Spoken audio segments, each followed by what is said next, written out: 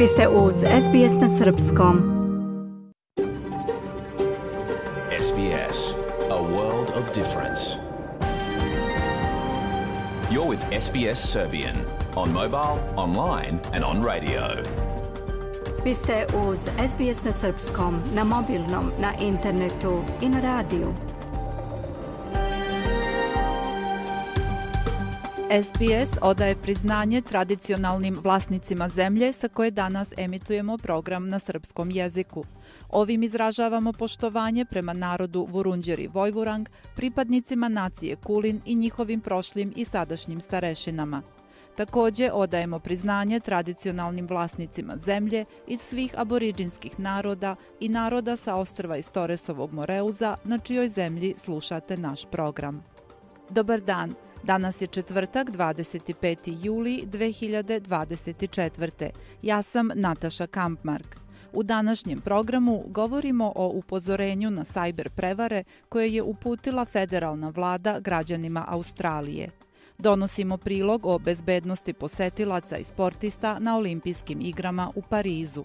Iz Crne Gore saznajemo više o podršci koju je Crnogorska skupština dala rekonstrukciji vlade iz Srbije više o izazovima sa kojima se suočava gotovo 40.000 registrovanih organizacija civilnog društva.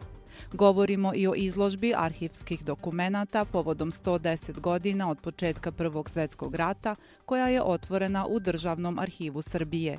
U segmentu iz nauke govorimo o pomaku koji su ostvarili australijski naučnici u proučavanju neutronskih zvezda. Ostanite sa nama do 16 časova, sledi pregled vesti.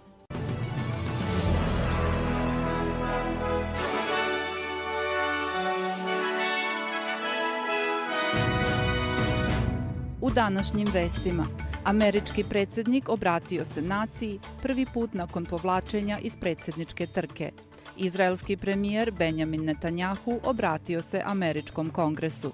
Australija uvela sankcije protiv sedam izraelskih državljana.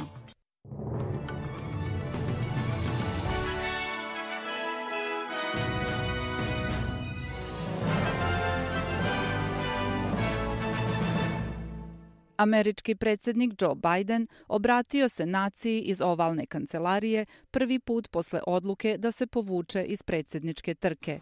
But in the defense of democracy, which is at stake, I think is more important than any title. Odbrana demokratije je važnija od bilo koje funkcije. Crpim snagu i nalazim radost da radim za američki narod.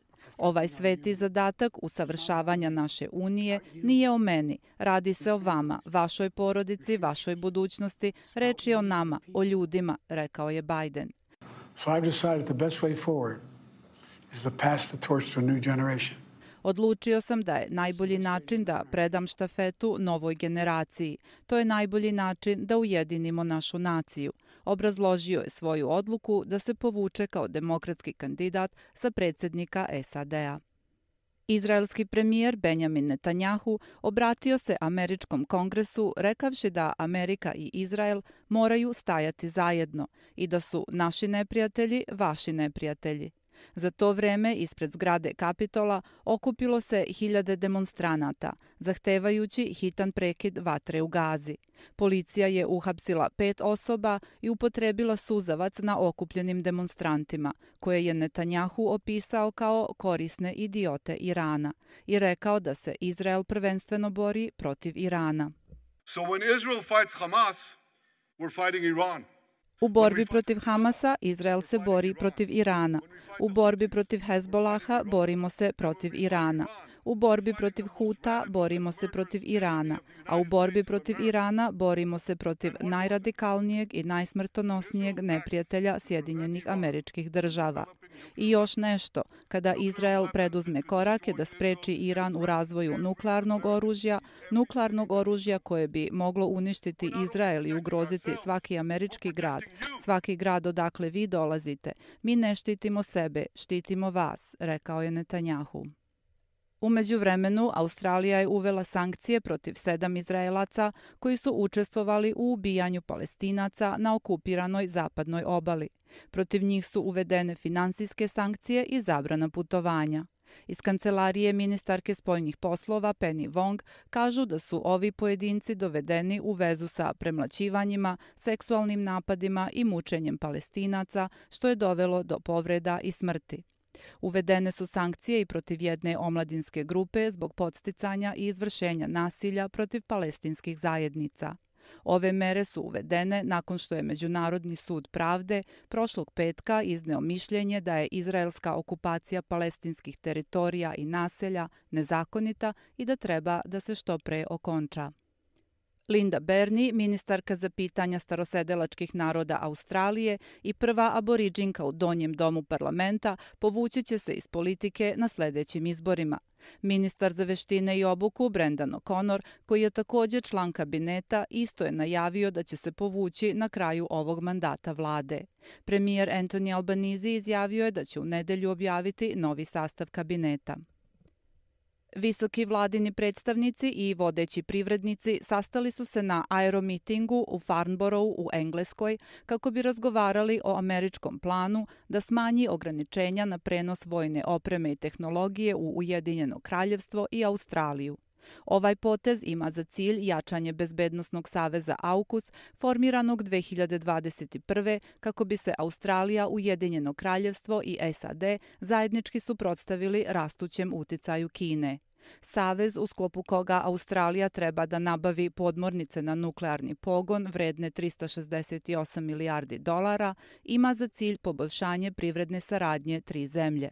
Američki State Department je u aprilu predložio da se u okviru AUKUSA pojednostave uslovi za dobijanje dozvole za prenos vojne opreme i tehnologije.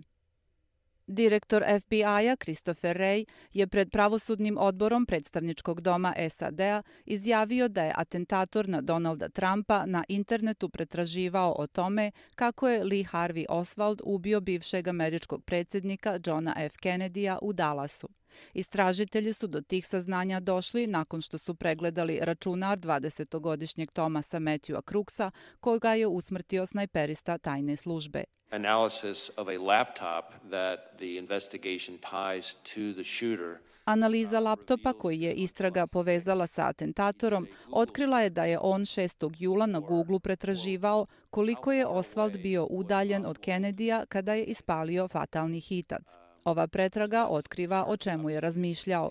Istog dana smo utvrdili da se registrovao za učešće na mitingu u Butleru, rekao je direktor FBI-a o pucnjavi u kojoj je poginula jedna osoba, a dve teško ranjene i koju FBI tretira kao akt domaćeg terorizma. Ministar spoljnih poslova Srbije Marko Đurić boravio je u dvodnevnoj zvaničnoj poseti Italiji, tokom koje je razgovarao sa italijanskim zvaničnicima, uključujući i ministra inostranih poslova Antonija Tajanija.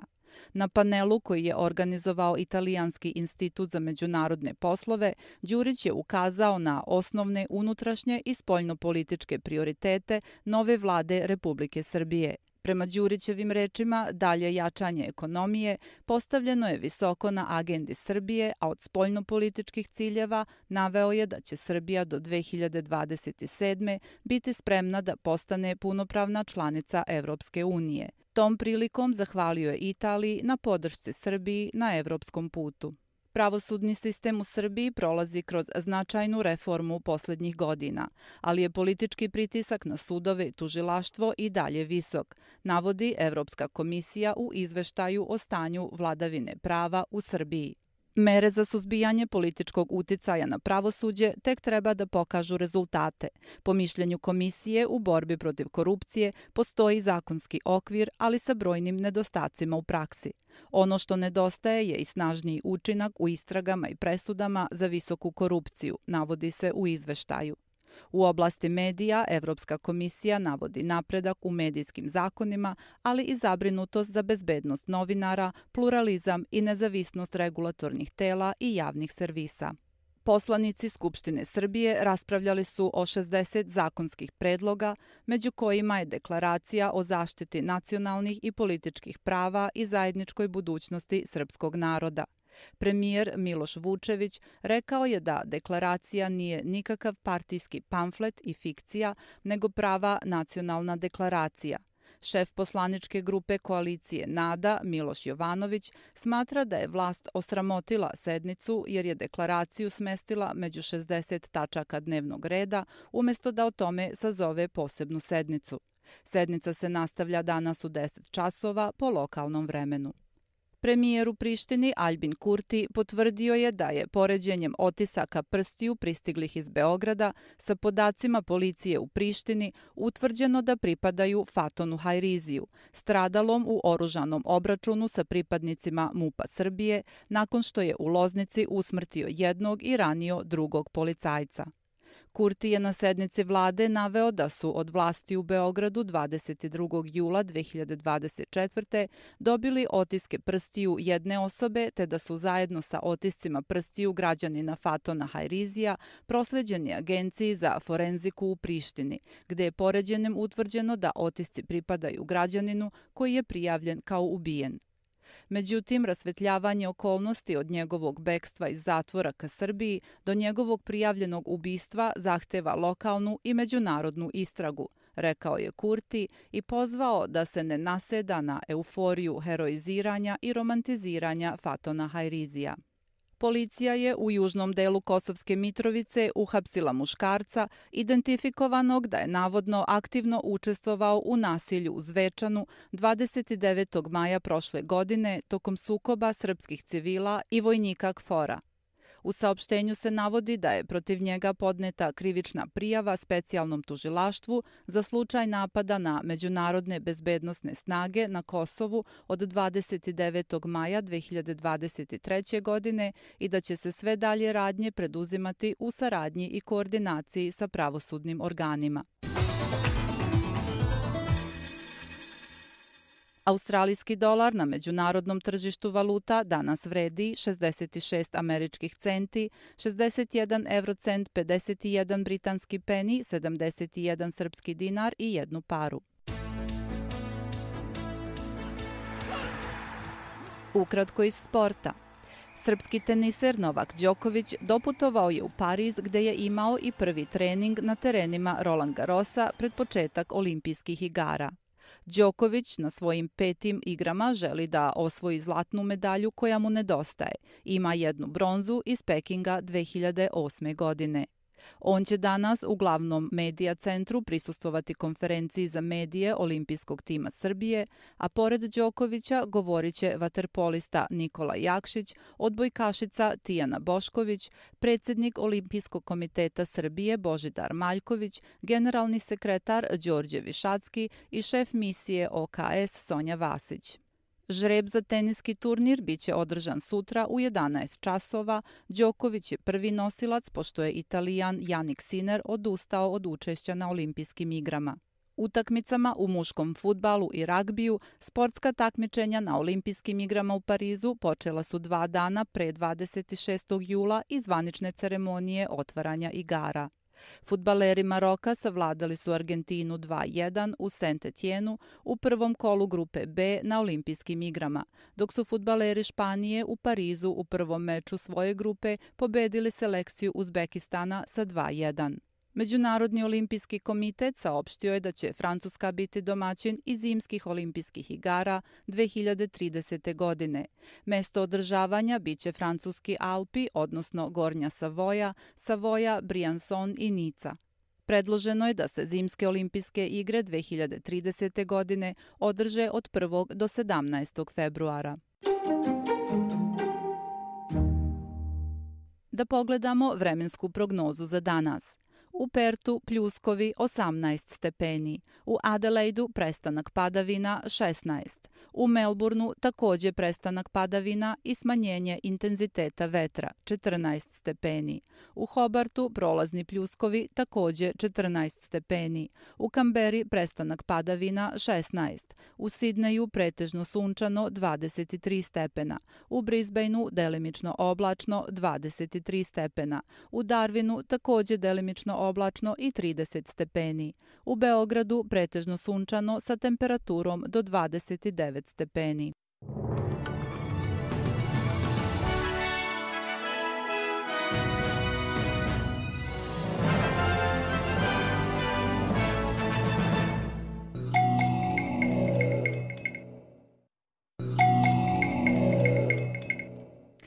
SBS na srpskom, ostanite sa nama do 16 časova. Ja sam Nataša Kampmark.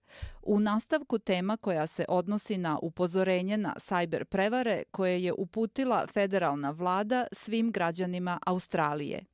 Krah informaciono-tehnološkog sistema koji se krajem prošle sedmice desio na globalnom nivou, takozvani plavi ekran smrti, dobro su osetili svi koji su planirali da putuju bilo avionom ili vozom, pošto su polasci otkazivani. Problema u radu imale su i banke i medijske kuće, čak su i bolnice otkazivale operacije. Ono što se tumači kao dobra vest je da to nije bio hakerski napad, već greška koju je napravila kompanija zadužena za cyber bezbednost, CrowdStrike, prilikom ažuriranja operativnog sistema Windows. Kompanija je saopštila i to da je problem posle nekoliko sati rešen, međutim, zbog toga je u institucijama i preduzećima širom sveta nastao haos koji je išao na ruku prevarantima. Cyber kriminalci sada koriste situaciju za takozvani phishing, to jest internet prevaru koja označava pokušaj krađe ličnih podataka posredstvom web sajtova, e-mail korespondencije, SMS poruka i telefonskih poziva. Pa je federalna ministarka za unutrašnje poslove Claire O'Neill smatrala da je neophodno da građanima uputi poziv da budu oprezni.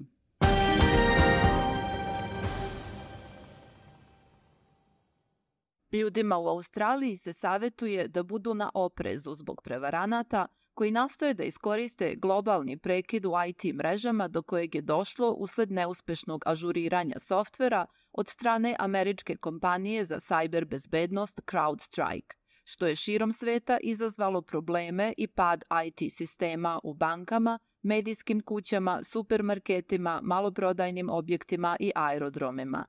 Ministarka unutrašnjih poslova Claire O'Neill potvrdila je da prekid nije izazvan sajber napadom. Također je rekla da je većina australijskih sistema koji su bili pogođeni sada operativna. Međutim, upozorila je ljude da se čuvaju kriminalaca koji krah IT sistema sada koriste za phishing prevare. Some individuals are receiving emails from people who are pretending to be CrowdStrike or who are pretending to be Microsoft – Neki dobijaju e-mailove od ljudi koji se predstavljaju kao CrowdStrike ili Microsoft i koji kažu da treba da unesete podatke o bankovnom računu kako biste ponovo pokrenuli sistem, da treba da platite za pokretanje sistema, da treba da unesete svoje lične podatke kako bi sistem proradio. O'Neill je rekla da treba biti podozriv prema svim e-mailovima koji tvrde da su od CrowdStrike-a ili koji nude da vam ponovo pokrenu sistem. Također je rekla da ne treba verovati telefonskim pozivima od nepoznatih ljudi koji nude da vam objasne kako da ponovo pokrenete sistem. Prevaranti uvek pokušavaju da vas što duže zadrže na liniji i da vas nagovore da date svoje lične podatke, rekla je O'Neill. Dakle, prvi savjet je da stanete. Ni pošto ne dajte lične podatke, bankovne podatke, niti novac. Ja bih prekinula vezu, rekla je O'Neill. Nacionalna sajber obaveštajna služba, Australijska direkcija za signale, također je upozorila ljude da budu na oprezu zbog hakera koji su kreirali lažne web sajtove i kod koji navodno rešavaju problem pada sistema. Ako sumnjate da ste bili žrtva prevare, trebalo bi da kontaktirate svoju banku kao i da prijavite na sajtu ScamWatch. A šta je izazvalo pad sistema?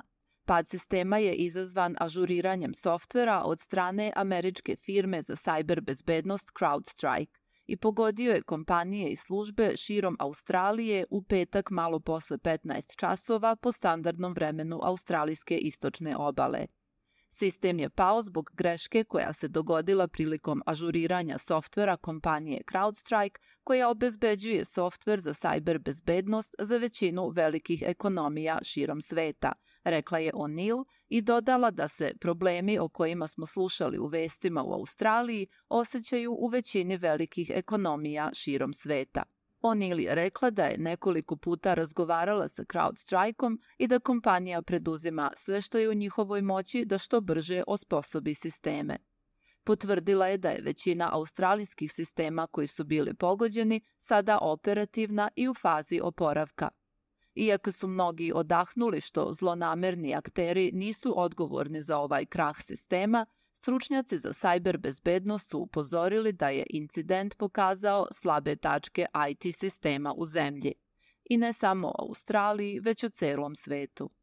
Ovo je najgore što je moglo da se dogodi i ozbiljnije je od sajber napada, jer pokazuje da naši sistemi nisu zaštićeni od nepredvidivih situacija, rekao je profesor za cyberkriminal kriminal Richard Buckland sa škole za računarske nauke i inženjering na Univerzitetu Novi Južni Wales. Profesor sajber bezbednosti na Univerzitetu Monash Nigel Fair opisao je incident kao bez presedana po obimu i rekao da je krah sistema pokazao koliko organizacije zavise od interneta i online tehnologija. Prekidu IT sistemu primorao je Saveznu vladu da u petak uveče sazove hitan sastanak nacionalnog koordinacionog mehanizma. Iz CrowdStrike-a su rekli da su pronašli rešenje za problem i omogućili pogođenim kompanijama i organizacijama da ponovo pokrenu svoje sisteme. Premijer Anthony Albanese je rekao da nije bilo uticaja na vitalnu infrastrukturu, vladine službe i službe za hitne intervencije. Međutim, otkazani su brojni letovi širom zemlje, a stotine ljudi ostalo na aerodromima, dok su kupci morali da ostave puna kolica sa robom na kasama u supermarketima.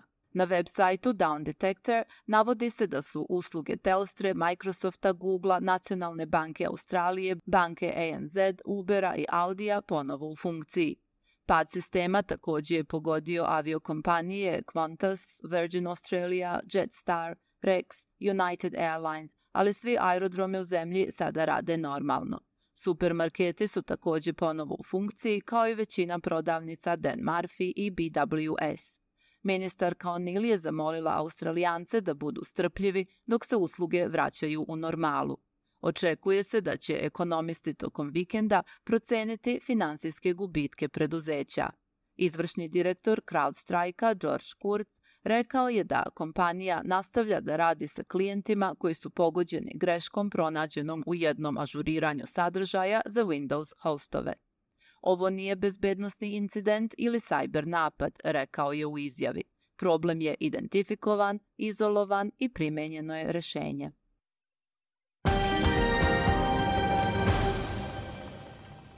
SBS na srpskom, ostanite sa nama, ja sam Nataša Kampmark. Sljedeća tema se također odnosi na bezbednost. Ceremonija svečanog otvaranja olimpijskih igara u Parizu je za samo par dana. Bezbednost tokom igara je i dalje jedna od najvećih briga zvaničnika, pošto je nekoliko incidenata već stavilo znak pitanja kraj bezbednosti posetilaca i sportista u francuskom glavnom gradu. Piše Alex Anifantis za SBS News, pripremila Biljana Ristić. Ceremonija svečanog otvaranja igara u Parizu održat će se na reci Seni, gde će sportisti defilovati 26. jula po lokalnom evropskom vremenu, odnosno 27. jula po australijskom istočnom vremenu. U ovom trenutku ne zna se mnogo više od toga. Ne pominjući imena, francuski predsjednik Emmanuel Macron nagovestio je da će mnoge poznate zvezde nastupati na otvaranju.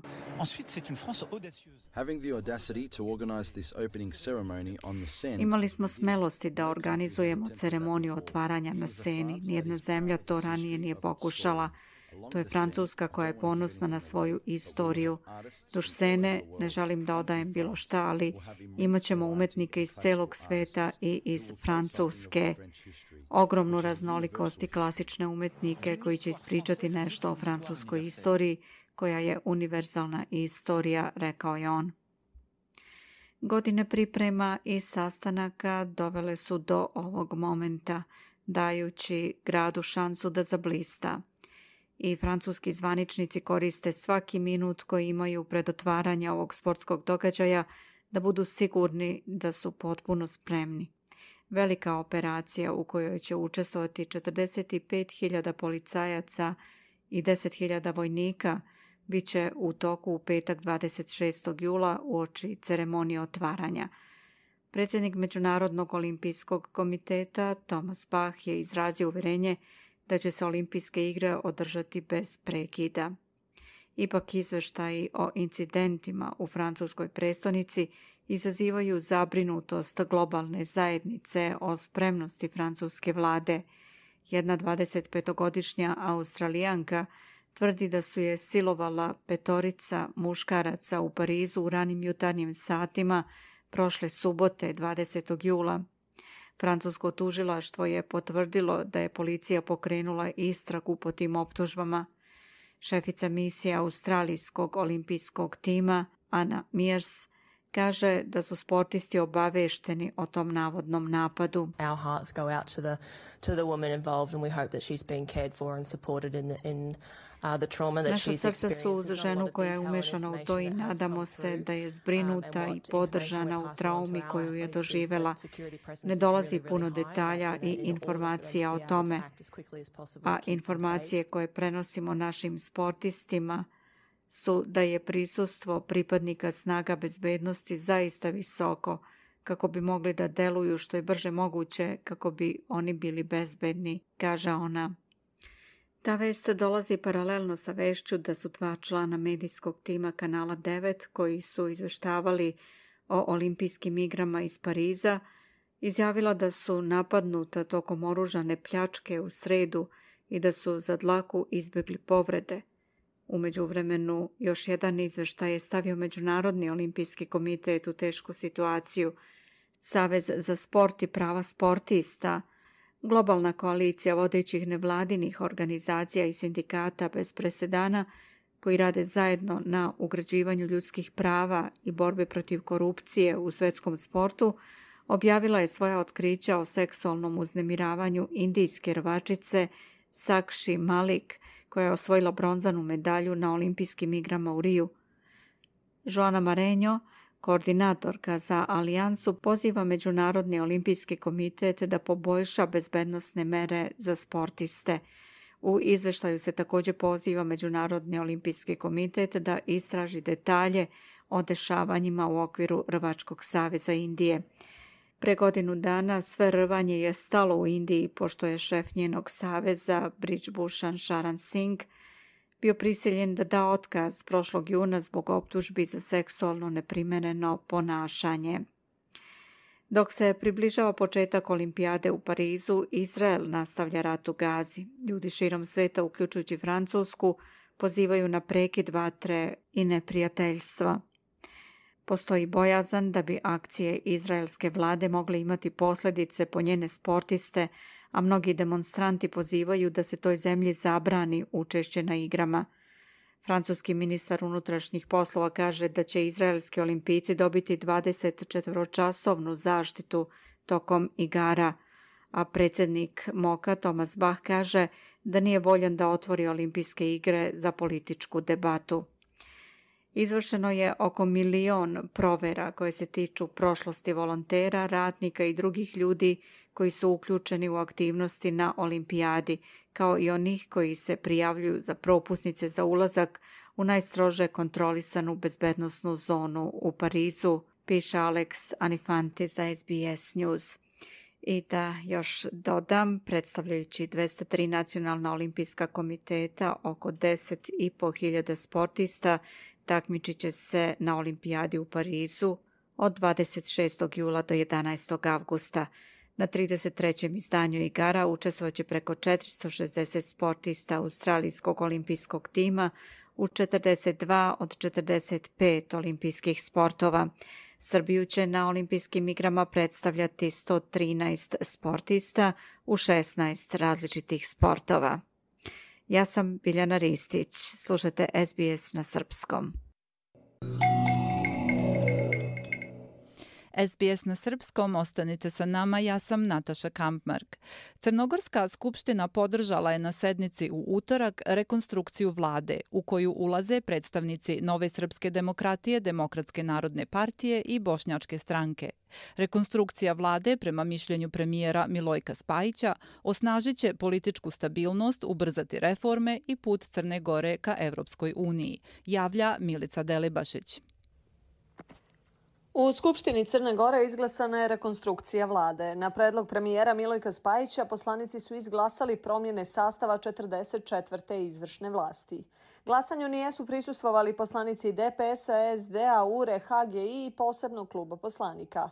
Od poslanika opozicije u sali su ostali Vladimir Dobričanin iz Ujedinjene Crne Gore i Mehmet Zenka iz Demokratske unije Albanaca. Većina ministara je izglasana sa 53 poslanika za i jednim uzdržanim. Za smjenu bivšeg ministra pravde Andreja Milovića glasala su 53 poslanika.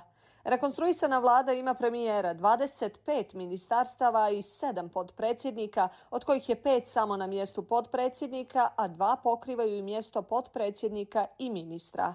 Najviše je rasprave prošlo na ulazak Bošnjačke stranke u vlast. Poslanici DPS-a pitali su lidera Ervina Ibrahimovića da li on drži do principa ako u statutu te partije stoji da bošnjačka stranka ne može sarađivati sa strankama koje zagovaraju bilo koji oblik netrpeljivosti i šovinizma. Nikola Zirojević iz SDA je na početku sjednice pokazao takozvani cvijet srebranice i poručio poslanicima bošnjačke stranke da ga više ne nose i da su obrukali narod koji predstavljaju. I dok opozicije tvrdi da će ova vlada produbiti jaz između crnogoraca i manjina koje žive u Crnoj Gori, premijer kaže ova vlada je istorijska i donosi pomirenje. Crna Gora je jedna od najraznovrsnijih država u svijetu, a takve zemlje su ili najbogatije ili najsiromašnije. Nema sredine. One koje odaberu da su jedinstvene u različitosti su danas najbogatije, kazao je Spajić i pozvao opoziciju da podrži program Evropa sa 2. Odgovorio je opoziciji Jervin Ibrahimović i poručio da oni nemaju mentore ni sa lijeva ni sa desna koji će im govoriti kako treba.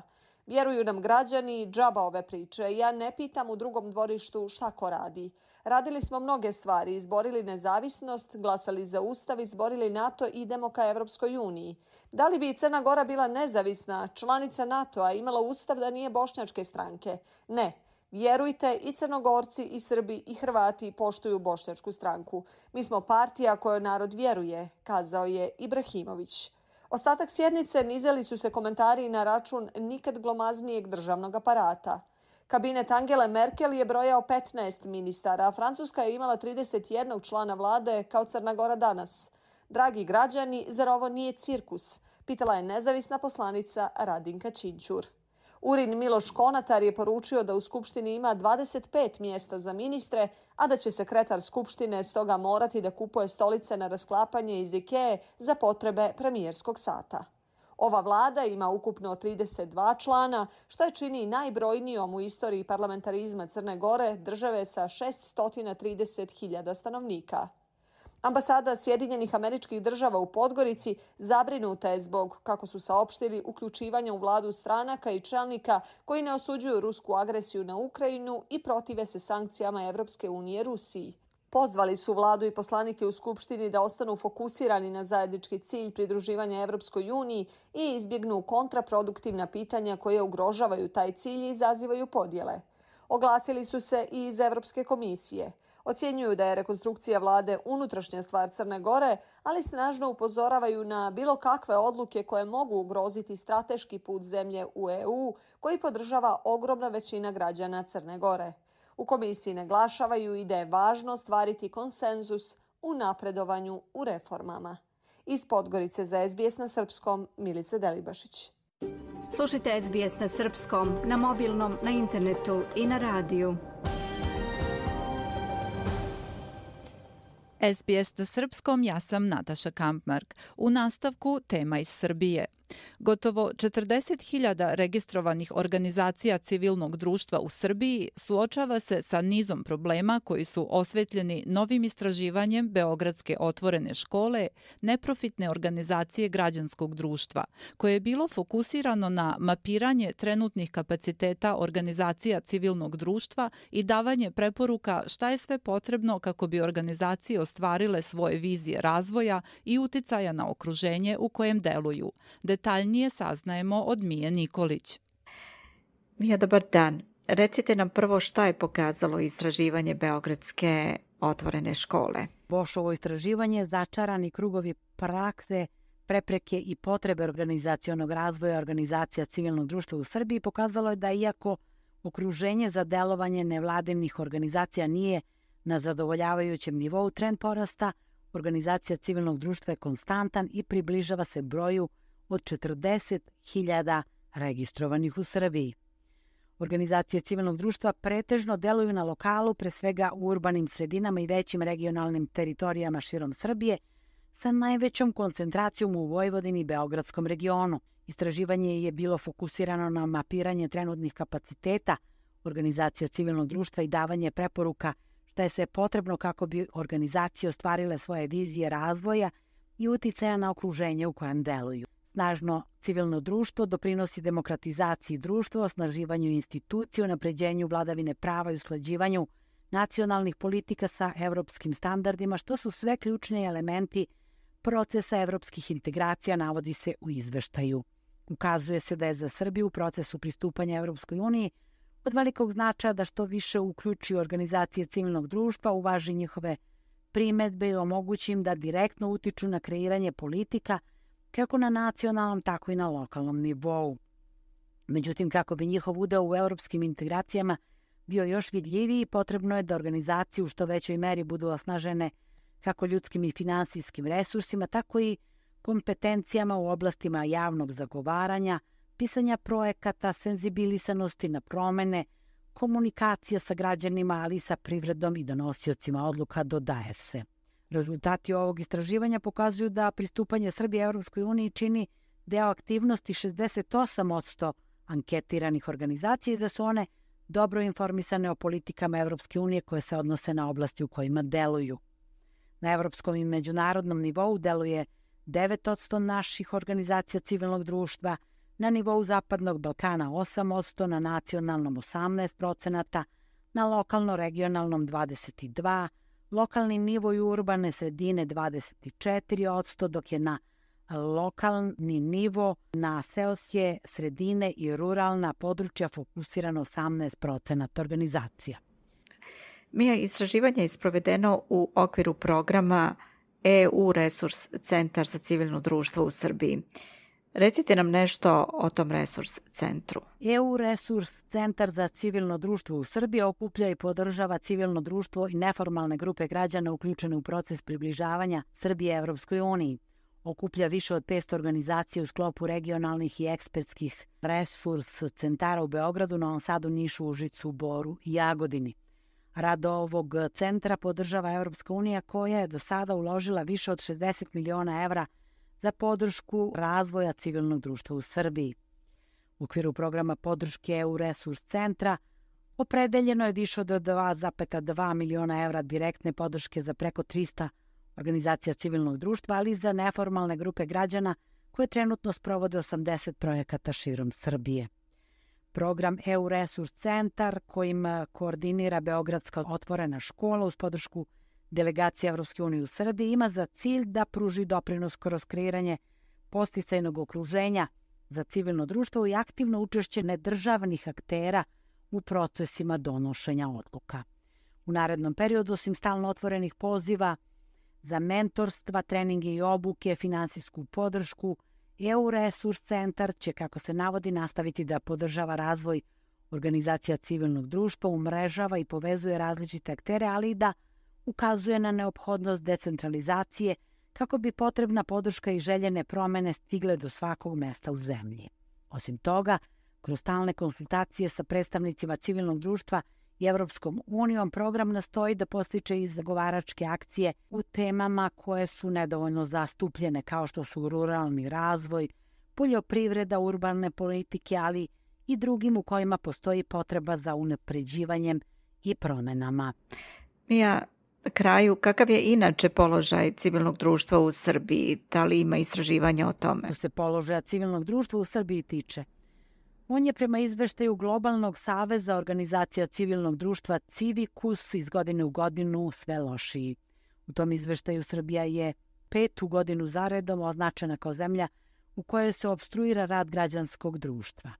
Samo tokom 2022. na svaka tri dana zabeleženo je kršenje osnovnih sloboda, odnosno 131 slučaj. Situacija je tokom prošle godine bila još lošija, Do početka decembra zabeleženo je 180 takvih slučajeva. Izdajnici, državni neprijatelji, strani plaćenici, to su samo neke etikete koje predstavnici vlasti dodeljuju civilnom društvu u Srbiji. To prema oceni predstavnika civilnog društva inspiriše nasilje, iz godine u godinu sve se više krše i ugrožavaju osnovne slobode građana, sloboda izražavanja, sloboda okupljanja i sloboda udruživanja. Biljana. Toliko za danas. Hvala. Bila je to naša saradnica Mija Nikolić. Ja sam Biljana Ristić.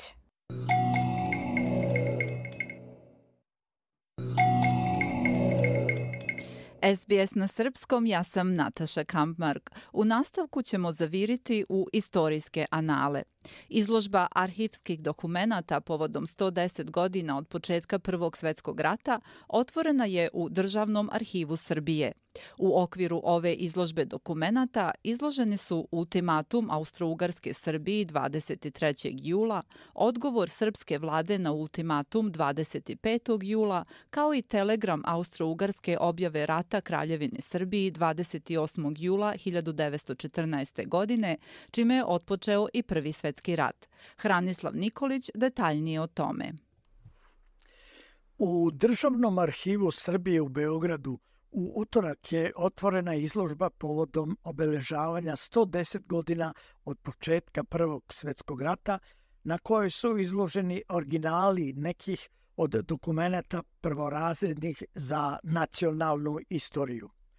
Izloženi su dokumenti Ultimatum Austro-Ugarske Srbiji od 23. jula 1914. godine, odgovor srpske vlade dat dva dana kasnije – kao i telegram Austro-Ugarske objave rata Srbiji od 28. jula 1914. Izložba traje upravo u takvom intervalu od 23. jula do 28. jula, a otvaranju su prisustvovali predsjednik vlade Miloš Vučević, ministar kulture Nikola Selaković i drugi uvaženi gosti. Premijer Vučević je nakon obilaska izložbe okupljenima rekao da je kultura sećanja neizostavni deo ako odlučite da idete u izvesnu budućnost i da istovremeno utiče da razumete sadašnjost. Zatim je kazao. Mene zaista impresionira da su ovi dokumenti od originalnog ultimatuma i koncept odgovora i originalnog telegrama sačuvani, jer to nije bila, preko bi, prosta misija Ovi dokumenti su sačuvani u godinama stradanja naše naroda tokom 20. veka. Ministar kulture Nikola Selaković naveo je da je izložba otvorena 23. jula simbolično na dan kada je Austro-Ugarska uputila Srbiji ultimatum i da će trajati do nedelje 28. jula, dana kada je telegramom Austro-Ugarska objavila rat Srbiji. Potom je nastavio jednim telegramom, čiji je original upravo danas ovdje pred nama izložen. Vlada, carsko-kraljevska vlada Austro-Ugarske objavila je rat kraljevini Srbiji. I kako to voli gospodin Perišić da kaže, posle jednog ovako omanjeg parčetna papira sa tekstom na francuskom jeziku započet je najveći užas sa kojim se do tadašnji svet suočio. Započeo je veliki rat rat u kome je malena kraljevina Srbija izgubila 28% svog stanovništva, 1.247.435 žrtava prema zaključcima mirovne konferencije u Versaju je položila naša država i naš narod. Nakon obilaska izložbe i govora premijera i ministra, direktor Državnog arhiva Srbije Miroslav Perišić poklonio je predsjedniku vlade Srbije Vučeviću kopiju telegrama kojim je Srbiji objavljen rat. Perišić je tom prilikom naglasio da Državni arhiv Srbije ne pamti da je ikada jedan premijer posle tako kratkog perioda od izbora na čelo vlade posjetio tu ustanovu, kao i da ne pamte da je jedan ministar kulture tri puta u tako kratkom periodu posjetio državni arhiv. Ova izložba, koja će, kako smo kazali, trajati do 28. jula, bit će upriličena u svim gradovima u Srbiji koji imaju arhiv, dakle u 21. gradu i u četiri grada u Republici Srpskoj. Iz Beograda za SBS Hranislav Nikolić.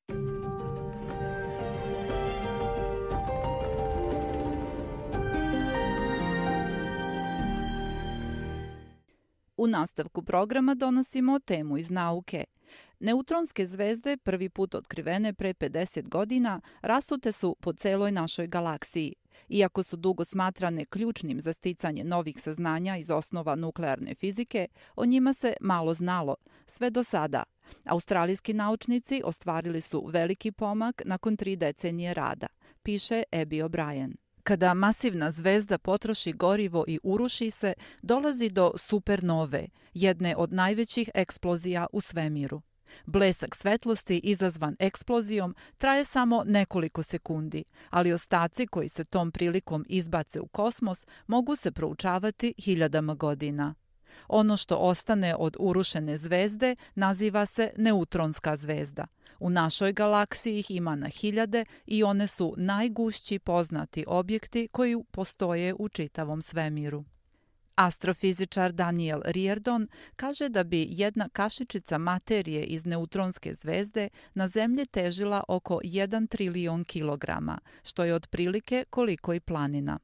Neutron stars are these incredible dense remnants of massive stars that exploded – Neutronske zvezde su neverovatno gusti ostaci masivnih zvezda koje su eksplodirale, a neke od njih emituju snopove elektromagnetnog zračenja iz svojih magnetnih polova. To su radiotalasi i kako se neutronske zvezde rotiraju, ti radiotalasi se okreću prema nama i mi ih tada vidimo kao puls svetlosti. Kada vidimo neutronske zvezde na ovaj način, nazivamo ih pulsarima kaže dr. Rierdon, koji je postdoktorski istraživač u Centru za astronomiju i superračunare na Univerzitetu Swinburne i član Osgrave-a, to jest Centra za otkrivanje gravitacionih talasa pri Australijskom istraživačkom veću. Posljednjih deset godina proučava jednu od neutronskih zvezda koja je najbliža Zemlji i koja je poznata kao milisekundni pulsar. Ona se rotira 174 puta u sekundi, što je isto koliko i blender. Neutronska zvezda koju smo proučavali je zapravo najbliži i najsjajniji milisekundni pulsar. Rotira se mnogo brže od većine neutronskih zvezda i iz polova emituje snopove radijacije koje vidimo kao pulseve našim radioteleskopima na Zemlji. Ova zvezda je udaljena 500 svetlosnih godina, što je relativno blizu u našoj galaksiji. To je veoma važno jer je vrlo svetla i to nam omogućava da vršimo precizna istraživanja, kaže astrofizičar Rierdon. Do sada su mnoge njene karakteristike bile nepoznate. Međutim, zahvaljujući saradnji između australijskih naučnika i NASA, sada imamo precizna merenja mase i prečnika ove neutronske zvezde. Dr. Rierdon, koji je jedan od vodećih istraživača, kaže da je ovo značajan pomak jer nam pomaže da razumemo osnove toga kako funkcioniše univerzum.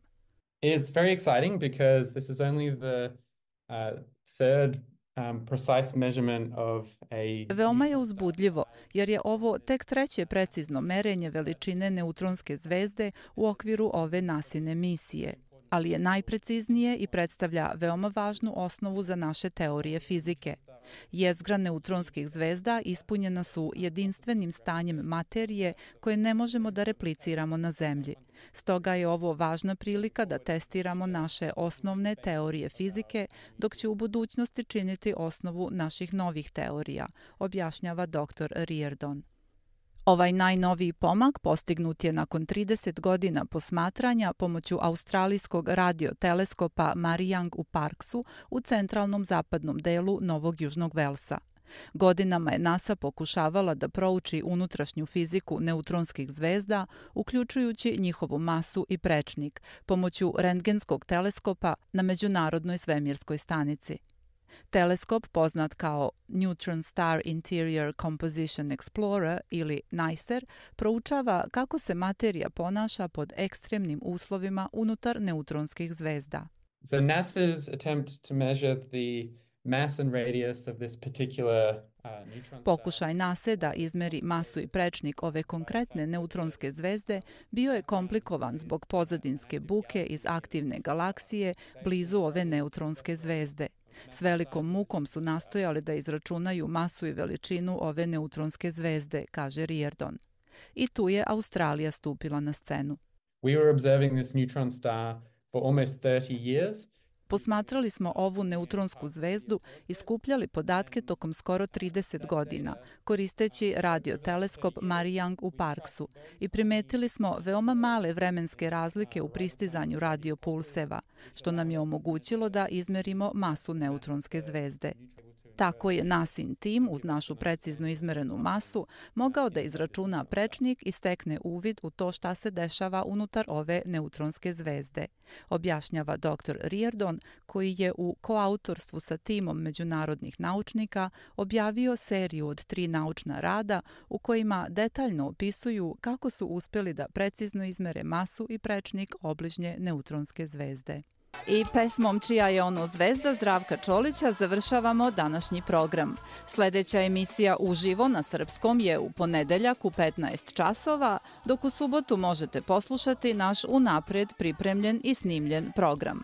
Da podsjetimo, program možete slušati na internetu sbs.com.au kosacrta radio ili na telefonu ako preuzmete SBS audio aplikaciju koja je besplatna. Posjetite našu web stranicu sbs.com.au kosacrta serbijan. Družite se sa nama i na Facebooku, naša stranica je SBS Serbijan. Sa vama je danas bila Nataša Kampmark. Želim vam prijatan dan. Želite da čujete još priča poput ove? Slušajte nas na Apple Podcast, Google Podcast, Spotify ili odakle god slušate podcast.